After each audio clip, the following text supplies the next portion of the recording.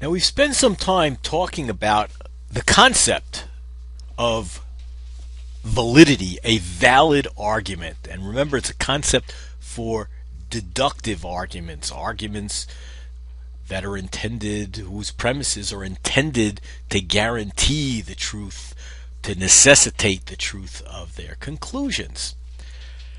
And notice I've been saying that valid arguments are these well formed arguments. I said it has something to do with their form, and we're going to call it the logical form. And another way of thinking about this is patterns of arguments. Now, so far, the only way we've given you to figure out if an argument is valid or not is to try to find a counterexample, and if you fail, um, then and you can clearly identify why you can't find a counterexample, then you conclude that it is a valid argument. So let's go, there is going to be an easier way to do it, but let's go through a couple of examples to try to help us get there. First of all, let's look at our favorite example. Socrates is a man, all men are mortal, therefore Socrates is mortal.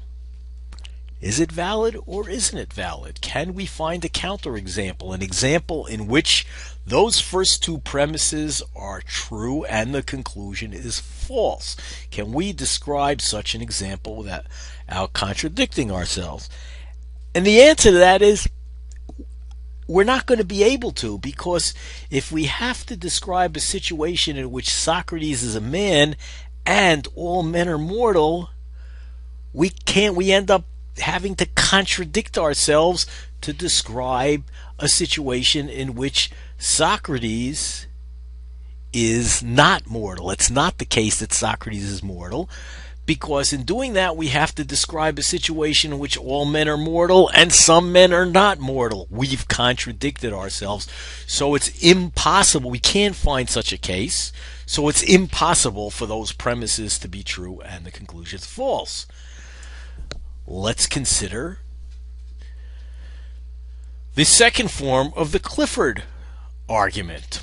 If you remember from last time, from uh, from the last set of videos,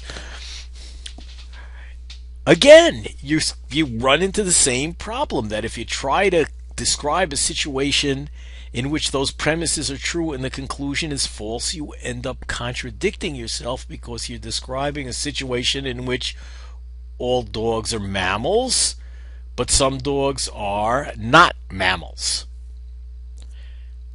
You know, so that's a contradiction. So that again is valid. Finally, let's consider a more pleasant one, at least maybe for the people who are attracted to women in the class. And maybe we're attracted to Cindy Crawford. Cindy Crawford is a supermodel. All supermodels are attractive. Therefore, Cindy Crawford is attractive. Now, some people might worry about the truth of that second premise. They might think not all supermodels are attractive. But the, uh, we're not worried about whether the argument has a factual basis. We're just worried about the logic of the argument.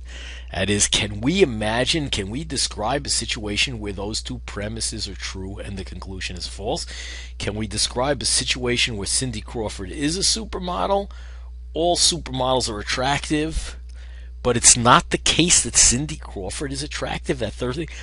No, because we again we have to describe a situation where all supermodels are attractive and some supermodels are not attractive. One in particular, Cindy Crawford. So we end up contradicting ourselves. So in this case, we see that all of these arguments are valid.